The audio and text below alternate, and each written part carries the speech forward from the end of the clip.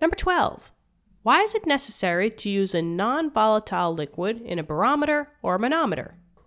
Good question. Basically, this, this has to do with uh, boiling points. If you have a volatile liquid, these are liquids that will basically evaporate very, very, very easily. So they're basically liquids that will turn into a gas very quickly.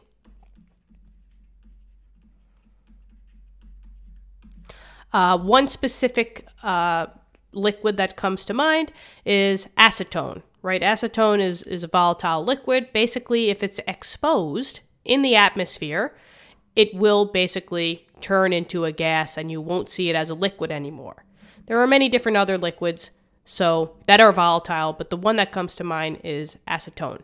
But basically, it's these compounds that are liquid that will basically evaporate or turn into a gas very, very quickly. And if you are turning into a gas, you're actually going to be adding gas pressure in your barometer or your manometer, right? And we don't want that. We don't want any additional gas pressure in our equipment. Non volatile liquids do not evaporate quickly. Do not evaporate quickly. So they can stay in the barometer or the manometer and it will not turn into a, a gas. They will stay a liquid and there will be no added gas pressure.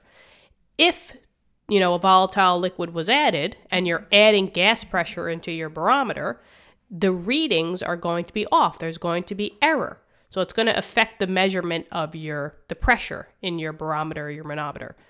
So that's why it is necessary to use a non-volatile liquid because these liquids don't evaporate and they will stay a liquid and they will not affect your pressure measurements in your barometer or your manometer. And that's it. It's easy as that. I hope this helped. Let me know in the comments. Thank you so much for viewing the video. Subscribe to the channel. Tell your classmates, tell your friends. Um, my brother and I, we really do appreciate you all. Thank you so much for all your kindness thus far in this journey. It's been crazy. We're almost at 15,000 subs, and you know, it, it's it's all because of you guys. So thank you so much. I really do appreciate you all, and I will see you later. Okay, have a great day. Bye bye.